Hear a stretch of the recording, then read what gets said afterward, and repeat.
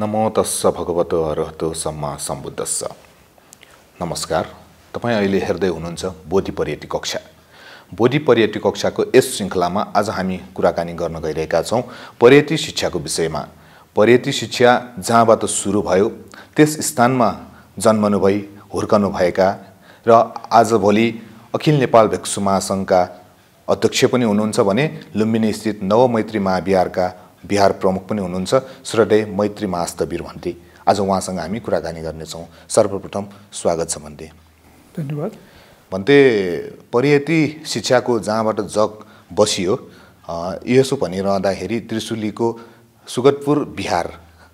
त्यसमा पनि अझ त्यहाँका उपासक धर्मरत्न साक्य जसको अनुरोधमा बुद्धकोश महास्तवीर भन्तेबाट पर्यटी शिक्षाको सुरुवात भयो। यो पर्यटी शिक्षाको सुरुवात हुँदाका बखतको अलिकति सम्झना बताइदिनुहोस् न भन्थे। मलाई याद छ सुगतपुर बिहारमा अठार सालमा बुद्धघोष भन्थे वर्षावासको लागि आउनुभयो। अठार साल उन्नाइस साल बिस सालसम्म पनि उहाँ त्रिशुलीमै बस्नुभयो। तिन वर्षसम्म उहाँले वर्षावास बस्नुभयो। वर्षावास बस्नुभएको बेला उहाँले टिनको पातामा चतुरार्य सत्य त्यस्तै आर्य अष्टाङ्गिक मार्ग आदिको व्याख्या गर्नुहुन्थ्यो। र त्यही क्रममा मेरो ठुलो बुवा धर्मरत्न साक्य त्रिशुलीले विभिन्न भन्तेहरूले लेख्नुभएको किताबहरू त्यस्तै आफूले लेखेका किताबहरू सबै मिलाएर उहाँले यसरी पाठ्यक्रम बनाएर नेपाल बौद्ध परियति शिक्षा भनेर एउटा क्लास सञ्चालन गरे के होला? उपासक उपासिकाहरू बिहारहरूमा जान्छन् धर्मदेशमा सुन्छन् तर बच्चाहरूलाई त्यसको प्रभाव परेन। र उपासक उपासिकाहरूले पनि बिहारमा गएर धर्मदेशमा सुनुन्जेल मात्रै सुन्ने बाहिर आएपछि त्यसको मतलब नगर्ने। त्यस कारणले कक्षाको रूपमै चलाउनु पायो भने राम्रो हुन्छ।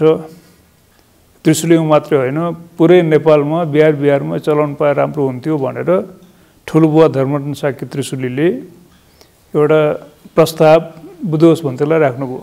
हुन त उहाँले क्लास त्यहाँ लिइराख्नु भयो त्यो चतुरार्य सत्य प्रतीत समुत्पाद आर्य अष्टाङ्गिक मार्गको त्यो अङ्क अङ्क बनाएर नै उहाँले गर्नुभएको थियो।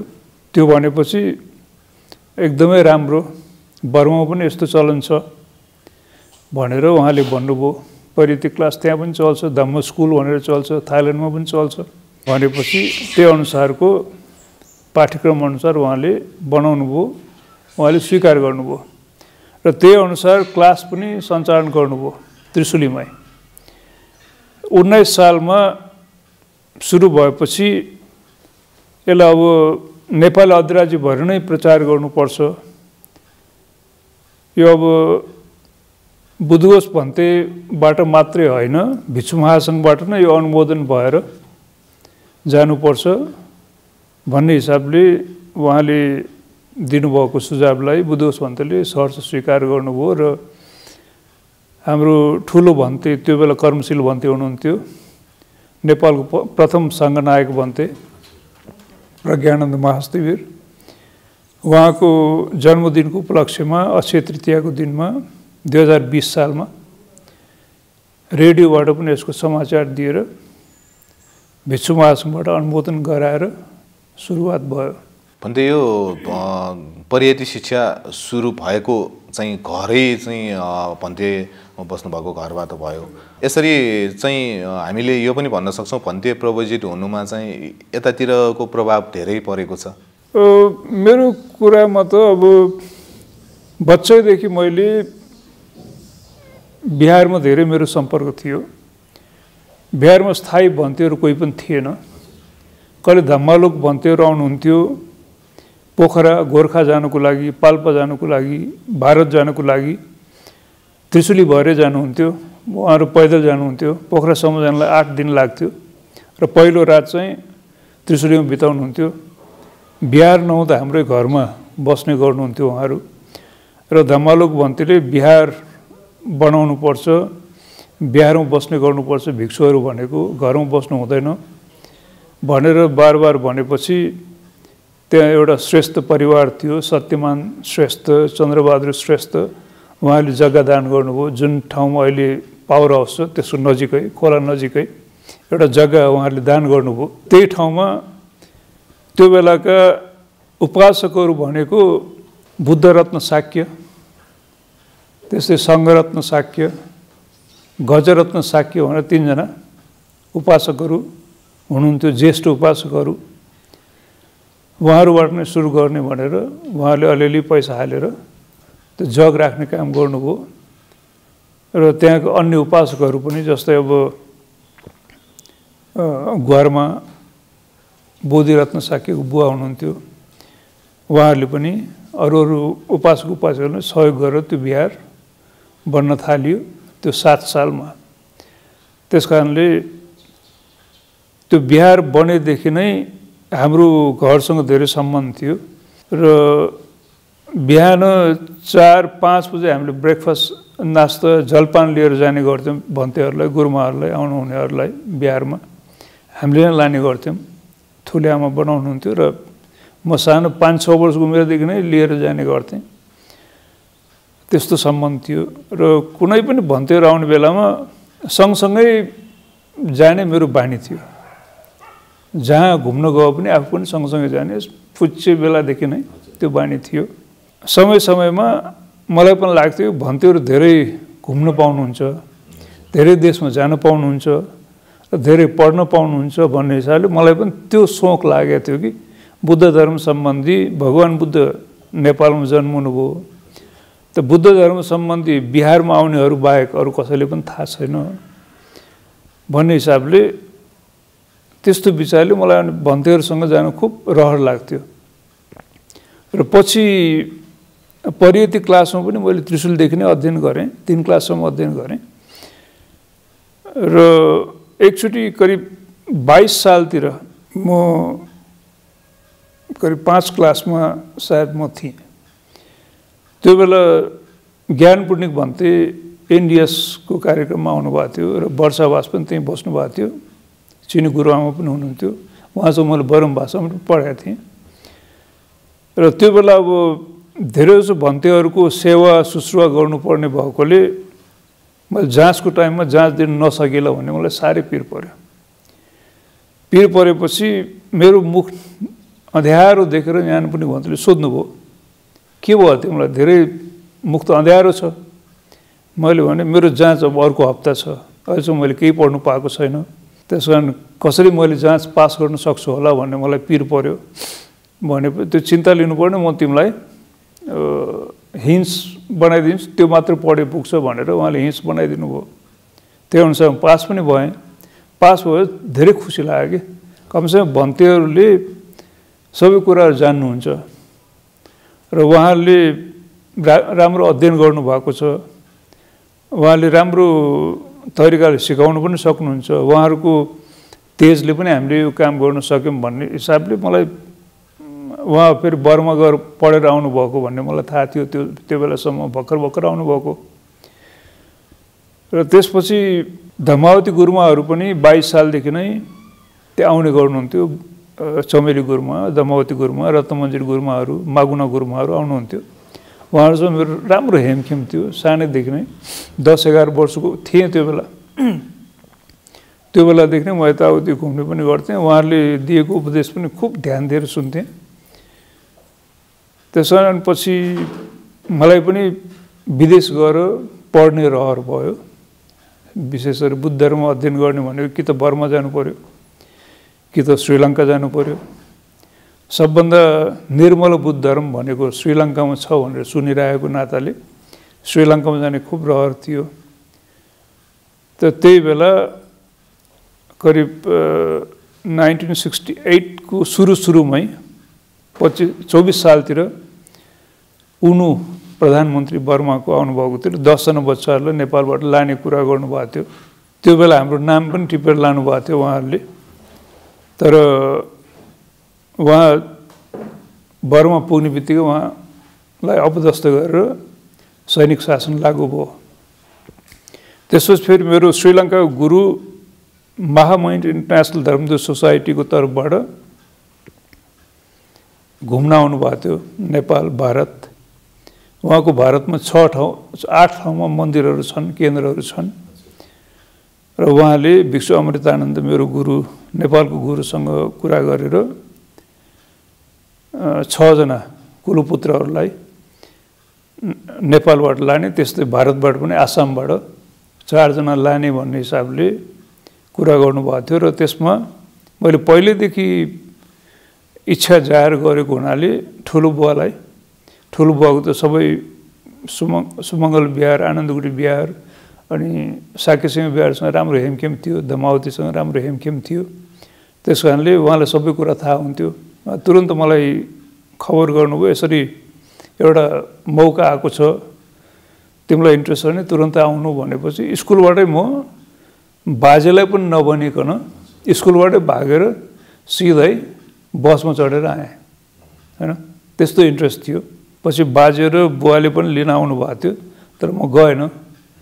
त्यो हिसाबले यहाँ आएर छ महिनासम्म अध्ययन गरेर हामी श्रीलङ्का गयौँ। र त्यही प्रवचय भयो हिजोको दिनमा नोभेम्बर चार तारिक बाहन्न वर्ष पुरा भयो त्रिपन्न वर्ष लाग्यो भन्नु पऱ्यो अब। त्यसरी हामी भिक्षु भएको पढ्ने इन्ट्रेस्ट भएर नै बुद्धमा सम्बन्धी राम्रो अध्ययन गर्नुको लागि नै हामीले भिक्षु बन्न खोजेको अनि भन्दै अब कक्षा तिनसम्म परिएटी पढेर त्यस पश्चात प्रवजित हुनुभई अहिले भिक्षु भएर बुद्ध शिक्षा ग्रहण गरिसकेपछिको अहिलेको अवस्थामा अखिल नेपाल भिक्षु महासङ्घको अध्यक्ष पदमा हुनुहुन्छ। यहाँसम्म आइपुग्दाखेरि परियतिलाई चाहिँ कसरी हेर्नु भएको छ कसरी बुझ्नु भएको छ? परियति सुरु त भइयो।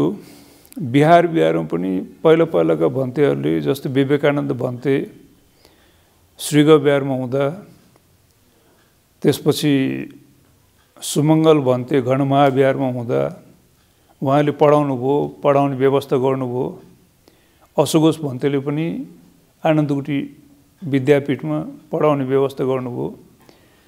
बिहार बिहारमा आनन्दकुटी बिहारमा पनि भयो। तर व्यवस्थित तालले भएको मैले देखेन। बुधघोष भन्थे एक्लैले परीक्षा नियन्त्रक पनि उहाँ नै प्रश्नपत्र बनाउने उहाँले नै उहाँको उपासक उपासकहरूले उहाँको उहाँप्रतिको श्रद्धाले मान्छेहरूले काम गर्थ्यो। श्रीलङ्काबाट म दुई तिनचोटि आउँदा पनि त्यही मात्रै मैले देखेँ। अनि मलाई लाग्यो व्यवस्थित तरिकाले पाठ्यक्रम पनि थिएन त्यो बेलासम्म। पुरस्कार वितरण पनि दाताहरूलाई भनेर गर्नुपर्ने बुधोस् भन्थे नै गएर लिनुपर्ने त्यस्तो अवस्था थियो। र नाइन्टिन एट्टी डिसेम्बर थर्टीमा म आइसकेपछि पहिलो दिनमा यहाँ महापरित्राण भइरहेको थियो। म आएको दिनमा राति त्यही बेला भिक्षुहरू सबै यहाँ भेला भइरहेको थियो।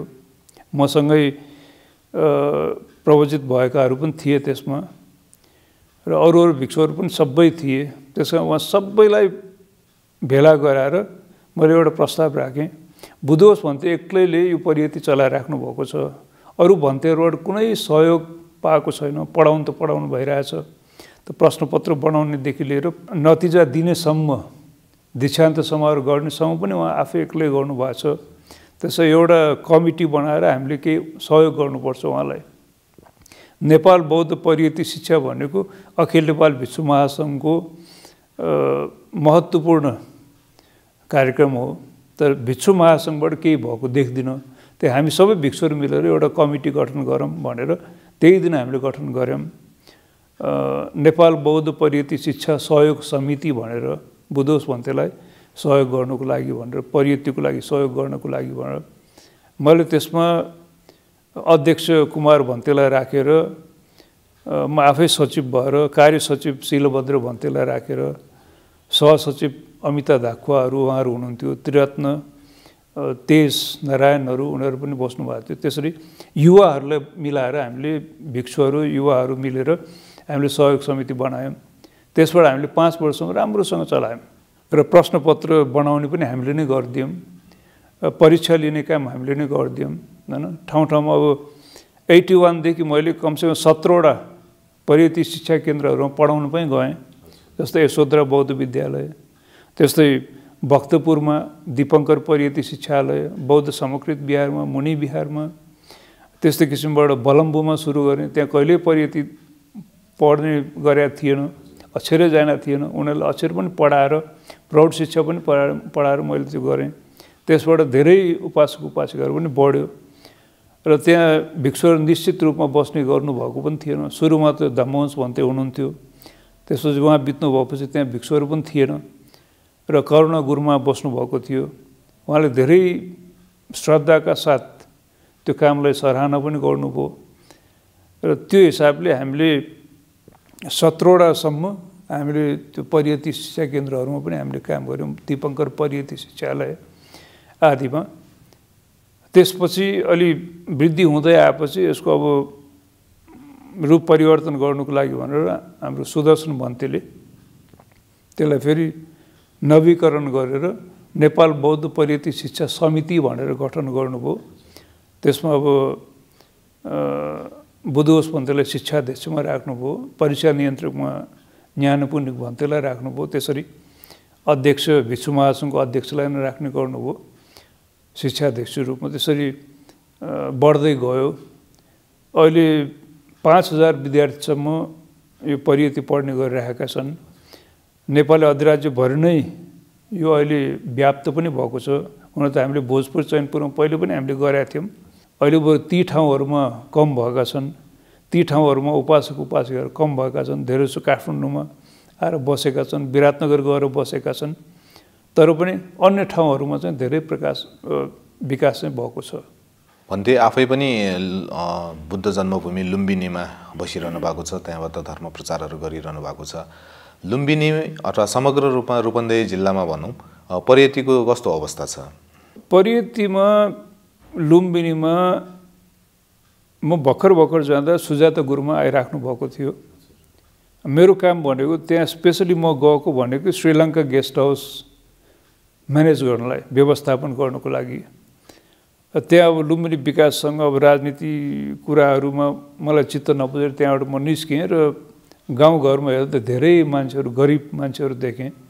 स्वास्थ्य र शिक्षामा धेरै कम जानेकाहरू देखेँ। कुकुरले टोके पनि मान्छे मर्ने सर्बल टोके पनि मान्छे मर्ने मैले देखेँ। त्यसपछि क्लिनिक सुरु गरेर मैले आफ्नो काम अगाडि बढाएँ। बच्चाहरू स्कुल जानुपर्ने बच्चाहरू त्यत्तिकै बाटोमा घुमिरहेको खेलिरहेको मैले देखेँ। उनीहरूलाई ओएसपी क्लासदेखि लिएर उनीहरूलाई छ महिना ओएसपी क्लास दिएर स्कुल पढाउनेसम्म मैले जिम्मा लिएँ। स्कुल दुईवटा दुईवटाको म्यानेजमेन्ट कमिटीको अध्यक्ष भएर पनि मैले काम गरेँ दस पन्ध्र वर्षसम्म। र परियति क्रममा चाहिँ लुम्बिनीको बुद्ध आदर्श विद्यालयमा सुजाता गुरुमाले परियतिको क्लास सुरु गर्नुभयो। त्यस्तै आफ्नै गौतमी बिहारमा पनि सुरु गर्नुभएको छ। र वरिपरिको स्कुलहरूमा पनि त्यहाँको युवाहरू विद्यार्थीहरूलाई ट्रेनिङ गरेर स्कुल स्कुलमा पनि पढाउने जस्तै मधुबनी स्कुल भयो मेत्ता स्कुल भयो खोदा बागर स्कुल भयो। मुसलमान बच्चाहरूले पनि त्यो अध्ययन गरेर ट्रेनिङसम्म पनि लिएको छ। र उनीहरूलाई हामीले स्कलरसिप पनि दिने गरेका छौँ। यसरी यो परीक्षाहरू लिएर विभिन्न ठाउँमा पढाइरहेको समयमा अहिले जुन यो कोभिड नाइन्टिन कोरोना भाइरसको कारणले गर्दा बिहारमा अथवा स्कुलमा गएर परियति केन्द्रमा गएर जसरी परियति पढ्न अहिले यो सहज अवस्था छैन पढ्न सकिरहेको अवस्था छैन यही समयमा बोडी टेलिभिजनले बोडी परियति कक्षा सञ्चालन गरेको छ र यो बोडी परियति कक्षालाई चाहिँ तपाईँले कसरी हेर्नु भएको छ? धेरै राम्रो कुरा हो।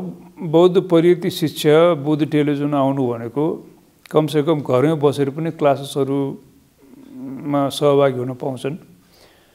र विशेष गरी यो कोभिड नाइन्टिन को महामारी विश्व महामारी भइरहेको अवस्थामा कुनै पनि ठाउँमा दस पन्ध्रजनाभन्दा बढी मान्छेहरू जम्मा गर्न पाउँदैन हामीले पनि अब जुन क्लासेसहरू एफएसपी क्लास इसिडी क्लासहरू चलाइरहेछौँ त्यसो पनि हामीले राम्रोसँग चलाइराख्नु सकेका छैनौँ। बिसजनाभन्दा हामी राख्दैनौँ। त त्यसो पनि आजभोलि आठ दसजनाभन्दा बढी आइरहेको छैन। त्यस्तो अवस्थामा बौद्धिक टेलिभिजनबाट जुन यो परियति शिक्षाको क्लास सञ्चालन धेरै राम्रो कुरा हो। यो समयमा जसरी हामीले अहिले पर्यटन शिक्षा कक्षा एक कक्षा दुई र कक्षा तिन चाहिँ अगाडि बढाइरहेका छौँ अखिल नेपाल भिक्षु महासङ्घद्वारा सञ्चालित नेपाल बौद्ध पर्यटन शिक्षाको समन्वयमा। अब यो एक दुई तिन जसरी पढ्नको लागि धेरैजना धेरै विद्यार्थीहरू हुन्छन् भने बिस्तारै यो दस कक्षासम्म पढ्नखेरिको पिरियडमा धेरै विद्यार्थीहरू कम भएर जाने गरेको छ। हामीले महसुस के गरेका छौँ भन्दा सायद हामीले बुद्ध शिक्षालाई अझ चाहिँ प्रचार प्रसार गर्न सकिरहेका पो छैनौँ कि भन्ने हामीले महसुस गरेका छौँ। अखिल नेपाल भिक्षु महासङ्घले कसरी पहल गरिरहेको छ बुद्ध शिक्षा प्रचार प्रसारको लागि? एक त गाउँघरमा हामीले पुस्तक पुर्याउन सकिरहेका थिएनौँ। अब गत सालदेखि हामीले यो महानगरपालिकाबाट अनुदान पाएर र ताइवानबाट अनुदान पाएर हामीले पुस्तकहरू छाप्ने गरेका छौँ। अहिले त धेरै जसो किताबहरू सात कक्षासम्म हामीले प्रकाशित गरिसकेका छौँ। आठ नौ दसको बाँकी छ। र त्यो पनि हामीले चाहिने ठाउँहरूमा वितरण गरिरहेछौँ म शिक्षा शिक्षाध्यक्षको नाताले मैले थाहा पाएअनुसार धेरै राम्रो भइरहेको छ। पर्यटन शिक्षाको सँगसँगै अलिकति प्रसङ्गलाई मोडेर भन्तेलाई सोध्न चाहन्छु। भन्ते लुम्बिनीमा बसिरहनु भएको छ। हामी भगवान् बुद्ध लुम्बिनीमा जन्मेको र हामी बुद्धवाज बर्णी नेपाल भनेर भन्छौँ गर्व पनि गर्छौँ। तर लुम्बिनीमा जन्मेको बुद्धको बुद्ध शिक्षा सबैजना नेपालीहरूले अनुसरण गर्न सकिरहेको अवस्था देख्दैनौँ हामी। कारण चाहिँ के होला भन्थे? नेपालमा एक त बुद्ध धर्म छ भनौँ भने छैन। छैन भनौँ भने छ होइन? तर त्यो सीमित भइरहेको छ। धेरै जसो भन्तेहरू नेवार जातिका हुनुहुन्छ। र उहाँहरू यो उपत्यकाभन्दा बाहिर कहीँ जान सकिराख्नु भएको छैन। कोही तामाङ गुरुङ भन्तेहरू मगर भन्तेहरू बरु बाहिर बसेर केही न केही बौद्ध परियतिको काम पनि गरिराख्नु भएको छ बौद्ध धर्म प्रचार पनि गर्नु भएको छ। त्यो नेवार जुन बौद्ध उपासक उपासिकाहरूबाट प्रेरित भएर भिक्षु हुनेहरू चाहिँ श्रीलङ्कामा त्रिपिटकाचार्य गरेर आए पनि नेपालीमा धर्मदेश नगर्नु पर्ने उहाँहरू अलि हिचकिचाउनुहुन्छ। त्यस कारण कमसेकम उहाँहरूले पनि ध्यान दिएर भर्खरै युवाहरू हो बिएमए पास गरेकाहरू छन् बुद्ध धर्म सम्बन्धी पाली संस्कृत सम्बन्धमा त्रिपिटक विशारद भएर आएका छन् विनयाचार्य भएर आएका छन् तर उहाँहरूको काठमाडौँ उपत्यका मात्रै सीमित भयो। बाहिर पनि गएर उहाँहरूले गर्न सक्नु भने धेरै राम्रो हो। त्यही भएर मैले युवा बौद्ध समूहको साथीहरूलाई पनि धर्मोदय सभाको साथीहरूलाई पनि तपाईँहरूले जुन जनजातिहरूलाई बौद्ध जागरण शिविर गर्नुहुन्छ त्यो बेला यहाँको युवा भन्तेहरूलाई पनि लानुहोस् र बुद्ध धर्म प्रचार गर्नलाई सजिलो हुन्छ। गृहस्थीले मात्रै गरेर यो सकिन्न। गृहस्थीले मात्रै प्रचार गरेर त्यति प्रभावकारी हुन्न भनेर मैले भन्ने गरिरहेको छु। अन्त्यमा भन्दै हामीले कक्षा एक कक्षा दुई र कक्षा तिन परियती शिक्षा टेलिभिजन मार्फतै भए पनि पढाएर एउटा बुद्ध शिक्षा सबैको घर घरमा पुर्याउनुपर्छ नैतिक शिक्षा रूपी बुद्ध शिक्षा अनुसरण गराउनुपर्छ भनेर अभियानको रूपमा हामी लागेका छौँ। यसरी टेलिभिजन मार्फत प्रसारण भइरहँदाखेरि जुन अभिभावक वर्गले आफ्नो बालबच्चाहरूलाई टेलिभिजनबाट भए पनि नैतिक शिक्षा रूपी बुद्ध शिक्षा अनुसरण गराउनको लागि के भन्न चाहनुहुन्छ? कस्तो अभिप्रेरित गर्न चाहनुहुन्छ? त्यो त हामीले बिहार बिहारमा प्रचार गर्न सक्नु पऱ्यो हजुर। होइन? काठमाडौँ उपत्यका मात्र होइन बाहिर बाहिर पनि यसको प्रचार प्रसार पुगेको छैन। प्रचार गर्नु पऱ्यो मैले नै परियतिको क्लास हेर्नु पऱ्यो भने मैले नै देख्दिनँ। म शिक्षा शिक्षाध्यक्ष हुँ विश्व महासङ्घको अध्यक्ष हुँ तर मैले नै देखिरहेको छैन। यहाँ मैले साइन गर्नुपर्ने पेपरहरू साइन गर्छु तर मैले केही पनि देख्दिनँ। त्यस कारण मैले प्रचार गर्नलाई मैले पनि देख्नु पऱ्यो नि त। फलानुमा आउँछ भनेर भन्न सक्नु पऱ्यो नि त। त्यो छैन। त्यस कारण हामीले त्यसो पनि प्रचार गर्न सक्यौँ भने अझ बेस होला कि। हेरिरहनु भएका अभिभावकहरूलाई चाहिँ के भन्न चाहनु हेरिरहनु अभिभावकहरूलाई त यो बच्चाहरूलाई प्रेरित गर्नुपर्छ भनेर हामीले भन्न सक्छौँ। हस् धेरै धेरै धन्यवाद। समय दिनुभयो। बोधी टेलिभिजन मार्फत बोधी पर्यटन शिक्षाको विषयमा जानकारी गराउनु भएकोमा कृतज्ञ ज्ञापन गर्दछु। आज हामीले कुराकानी गऱ्यौँ अखिल नेपाल भिक्खु महासङ्घका अध्यक्ष एवं लुम्बिनीमा अवस्थित नवमैत्री महाविहारका बिहार प्रमुख श्रद्धेय मैत्री महास्तवीर भन्तेसँग। आजको लागि कार्यक्रम यति नै। अन्त्यमा बोधि पर्यटक कक्षा आफू पनि हेरौँ अरूलाई पनि हेर्न अभिप्रेरित गरौँ भन्दै आजको कार्यक्रमबाट बिदा चाहन्छु। भवतु सब्ब मङ्गलम